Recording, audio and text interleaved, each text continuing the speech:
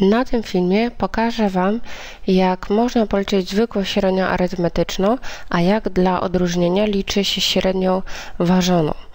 I teraz, jeżeli macie wypisane przykładowe wartości, e, tu jest, są jakby, jakby numery tych liczb, że to jest i pierwsza wartość, druga, trzecia, czwarta i piąta i konkretnie każda z tych wartości wynosi 430, 400 i tak dalej. Na początek dla liczenia zwykłej średniej arytmetycznej, jak to w przypadku na przykład średniej ocen, te oceny, te wyniki trzeba ze sobą sumować i podstawić do odpowiedniego wzoru. E, I ta suma, którą sobie policzyliśmy, to jest suma podpisanej kolumny jako xi.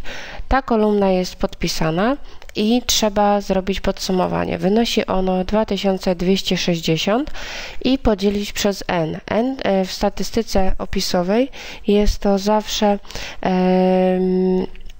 liczba obserwacji, jaką bierzemy pod uwagę, wówczas 2260 podzielone przez 5 jest to w tym przypadku 452. Jeżeli e, byśmy mieli liczyć tylko zwykłą średnią arytmetyczną, to nie jest tylko kwestia wykonać obliczenie, należy również podać interpretację. Interpretację, czyli krótkie zdanie e, jakiegoś wniosku. Nie mówimy, że po prostu średnia wynosi tyle a tyle, tylko mówimy, że w przypadku na przykład badania wydatków mówimy, że wydatki e, w jakiejś zbadanej zbiorowości na przykład szkół w Polsce wynosiły na przykład, czy wynosiły w przybliżeniu 452 e, na przykład tysiące złotych. Wszystko zależy, kogo badamy, pod względem jakiej cechy i jaka była jednostka. Wszystkie te elementy muszą być zawarte w słowie tego zdania interpretacji.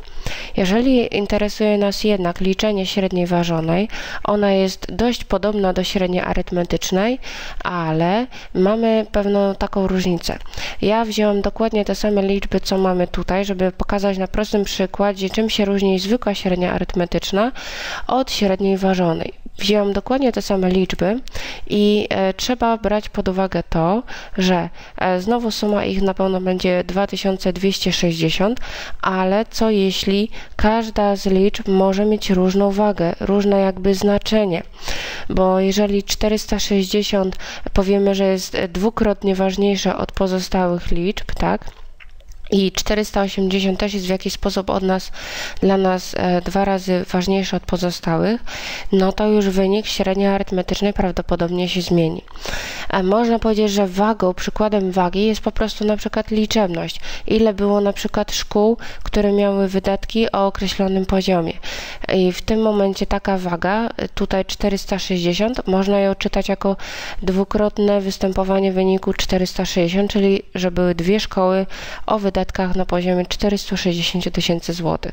Ale generalnie, jeżeli mamy wagę, jak na przykład przy sprawdzianach, że na przykład e, sprawdzian mm, jakaś bardzo ważny ma jakby wagę dwukrotną, a zwykła kartkówka ma tylko wagę 1, no to już wracamy, że tak powiem, tematem do szkoły i niekoniecznie musi to być tylko jakaś liczebność. To może być po prostu jakaś dosłownie e, stopień ważności danego wyniku w porównaniu do innych. I te dwa wyniki są zdecydowanie dwukrotnie ważniejsze od pozostałych. Żeby obliczyć średnią ważoną, kiedy my mamy określone wagi, musimy każdy z wyników przemnożyć razy tą wagę, którą mamy przypisaną do każdego z wyników. Czyli mnożymy sobie te dwie liczby, tu piszemy wynik, mnożymy te dwie liczby, jest wynik.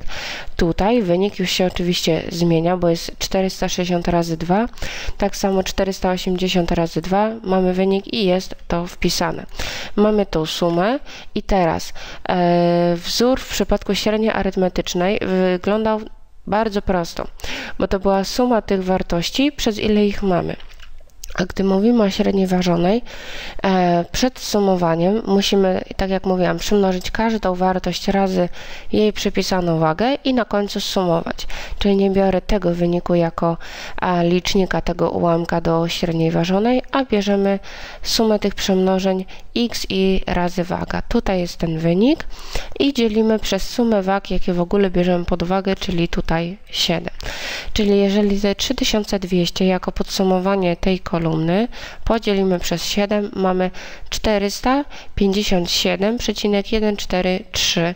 Zawsze zaokrąglamy przynajmniej do 2-3 miejsc po przecinku. Szczerze, nigdy bym nie zaokrąglała do całych liczb całkowitych, nawet jeżeli powiedzmy mm, jakaś cecha, którą badamy, przyjmuje tylko wartości całkowite, bo średnia może przyjmować wartości ułamkowe i nie jest to nic dziwnego. Jak zawsze w przypadku każdej miary statystycznej, czy to jest średnia ważona, czy zwykła średnia arytmetyczna, musimy dać jedno zdanie interpretacji. Czyli przykładowo, jeżeli badamy wydatki szkół e, w tysiącach złotych, to powiemy, że wydatki szkół wynosiły przeciętnie, czyli około w zaokrągleniu, w przybliżeniu 457 143 tysiąca złotych.